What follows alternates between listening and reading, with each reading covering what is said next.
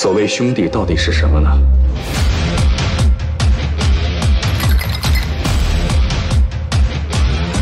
上上上上！加油！我接受这个挑战，全家入阵。也许是命中注定呢。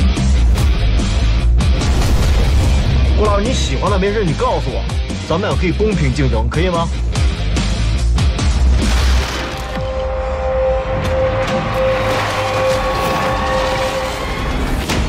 我不明白为什么你们两人会成为哥们儿。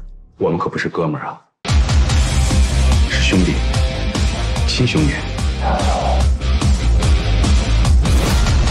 兄弟是亲人，是不可分割的。